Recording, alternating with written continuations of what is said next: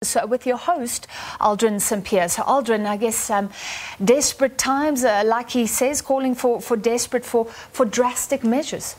Well, indeed, and what we'll be doing this evening is that we'll be getting some reaction from various political parties, including those industries that have been infected, that have been affected rather by this announcement by the president, including the Restaurant Association. We'll also be speaking to the liquor industry, how what they make of this decision that has been taken by the president. The country officially moving to level three lockdown starting at midnight or up until mid-January.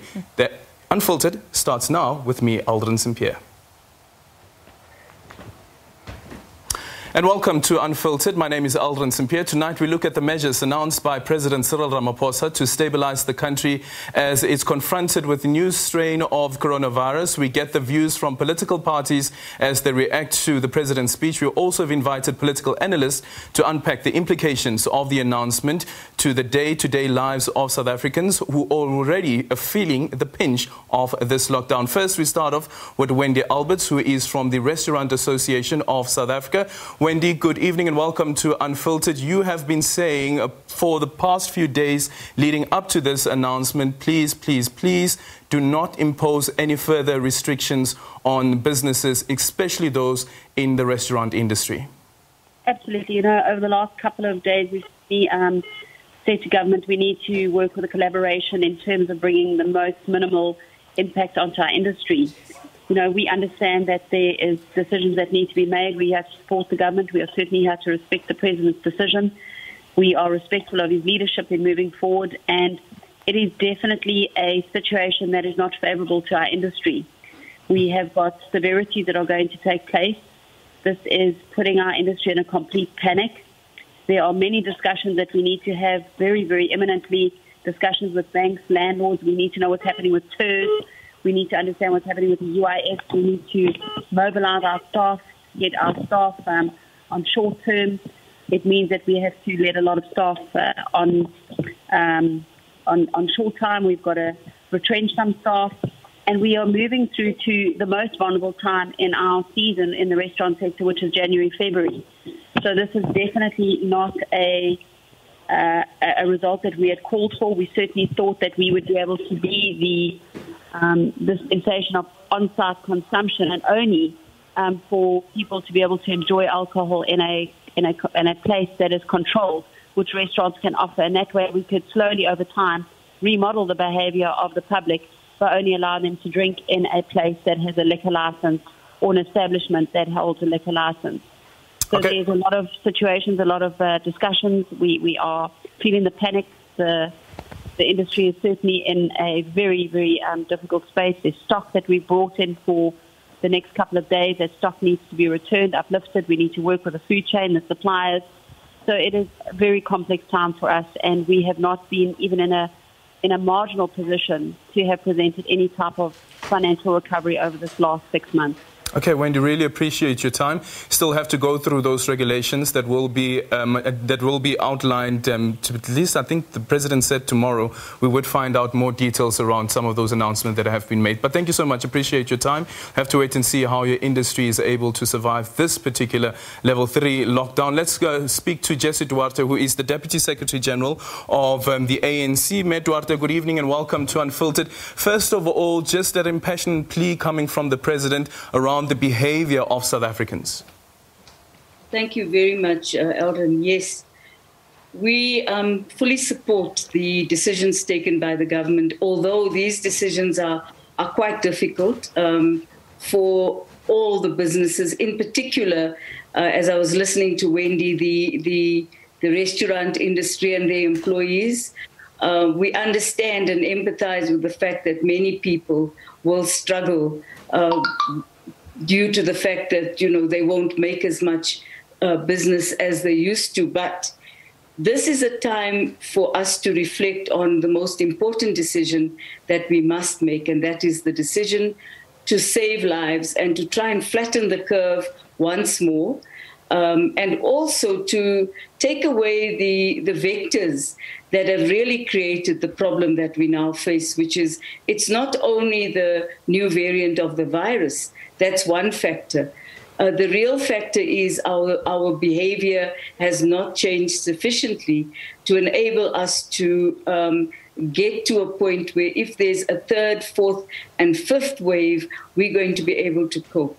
The biggest crisis we face is our healthcare professionals are under stress. I saw that myself today. I visited a hospital uh, for myself, not for COVID, for another matter, and I was very aware of the absolute stress that nurses, doctors, and laboratory assistants are under, and whether or not they're going to be able to cope going forward for um, another few months. It's going to be hard to say. We appeal particularly to the young people in our country, the future leadership of this country. That, you know, the raves, the parties, the beach parties, the gathering in the parks, all of these are, are places where you will be affected and you will in turn affect other people. Uh, one rave in KZN created a crisis for over 300 families. That's what the statistics show and say. So we really are appealing to our young people. Um, it is a difficult time for you. You've had a hard year. You've hardly had any fun. Uh, there hasn't been time for you to have fun. You've had to work from home. But we're asking you to make this little bit of extra um, extra work. To, to save lives, to uh, to give yourself the opportunity to be alive uh, uh, in the next year. Life is very important, Eldon, and I think while while the, the measures are harsh, let's not pretend that they're not harsh. What we really are about is to forget our political differences not to work on this matter from a party political perspective, but to unite as South Africans under the, these conditions and to help each other move forward. Um, hopefully, we'll come out of this. We'll flatten the curve, I hope, by the 15th or 16th of January, and perhaps there can be a relaxation mm-hmm. of the regulations. But until then, we believe that if we um, follow the protocols, uh, as the president had described them, we are likely to drive down the rate of infection, and that's what we need.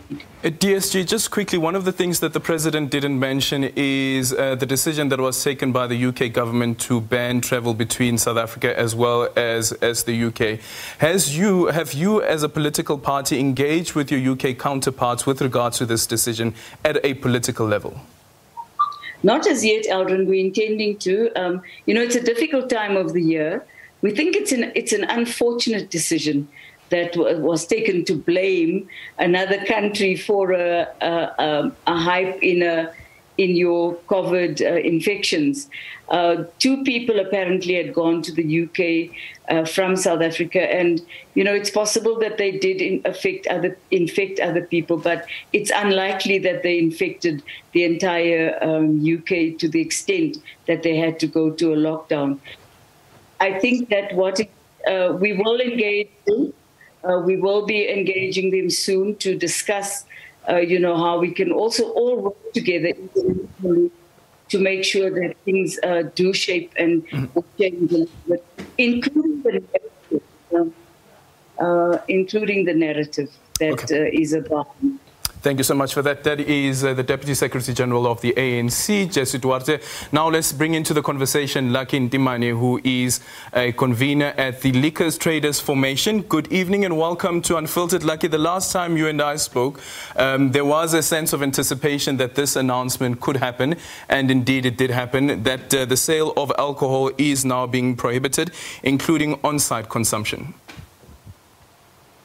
Uh, good evening, uh, Aldrin, and good evening to SABC News uh, viewers. Thank you for the opportunity.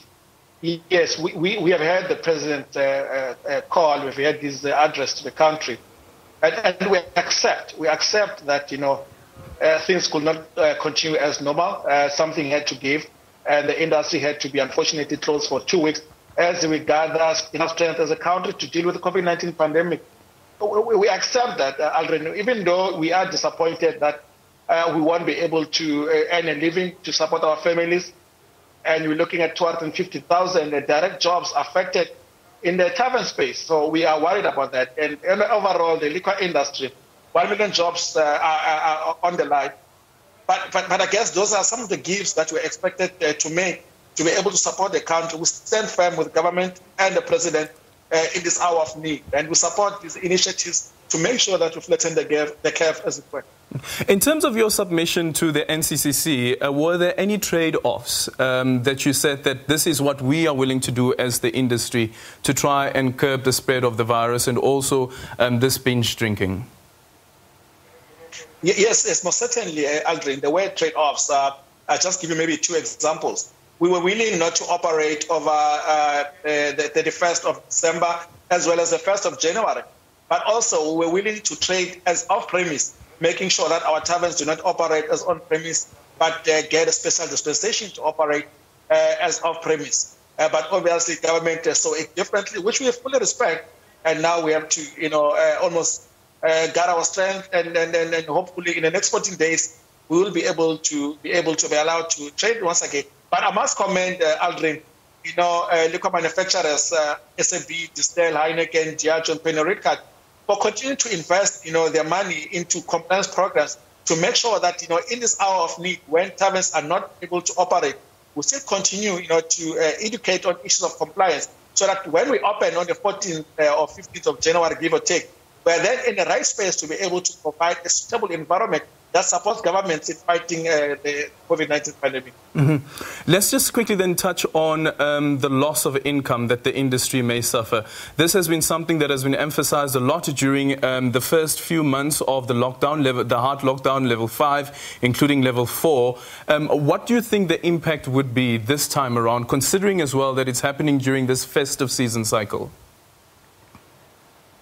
I think the economic losses will be immeasurable. I mean, uh, this is the time of the season in which uh, manufacturers and liquor traders uh, will uh, make uh, over 30% of their volume in this time. Uh, the fact that we're now being close almost in, in halfway through the season, it means that, you know, and we haven't not recovered from the first lockdown, it means it's going to take a lot of time for us to, to recover. In fact, there I say that, you know, taverns, uh, I, suspect more than 50% of them struggle to open, you know, when, uh, when we are allowed to open once again. But, you know, be that as it may, I need to also state on record that we understand the issue of lives that the president wants to save, and we support that call. Issue of livelihoods, I think that is something that we can look at uh, at a later stage. But obviously, we are worried about the livelihood uh, that, that are going to be affected. You know, people that are going to wake up tomorrow morning not knowing what to do because they can't go back to work. During the time when there was the ban on the sale of alcohol, how prevalent was the quote unquote black market at the time? And do you think that this time around it will resurge? We are equally worried about the black market, In fact, the illicit trade of alcohol in the space under which we're locked down was estimated to be well over 9 billion rand. Mm. This is their money that should have gone into a fiscus. But here's another problem, Aldrin. Now, uh, we will have to then defend a sector that is operating illegally. Because now that alcohol is not allowed to be sold in a legal way, people are going to take chances. People are going to sell this liquor in an irresponsible way, in an illegal way, meaning that the effects that alcohol have been blamed for having a, a, a major cost on various issues that the President alluded to, they're not going to stop. But now, are you going to hold the liquor industry accountable for those? I, I, I guess not. But, you know, as a responsible industry, we're going to do whatever it takes to ensure that our liquor traders do not partake in this type of initiative. And those that you know uh, conduct themselves in an illegal way to sell liquor, we're going to report them. We're going to ensure that the law enforcement, you know, is meant to come to bear on their actions. Thank you so much for that. At least um, you have it there, commitment there from Lucky Ntimane, who is a convener at the Liquors Traders Formation, that if there are those who will be selling alcohol illegally, quote unquote, the black market, that they will be reported. Let's go to a quick ad break. When we come back, we'll get more reaction.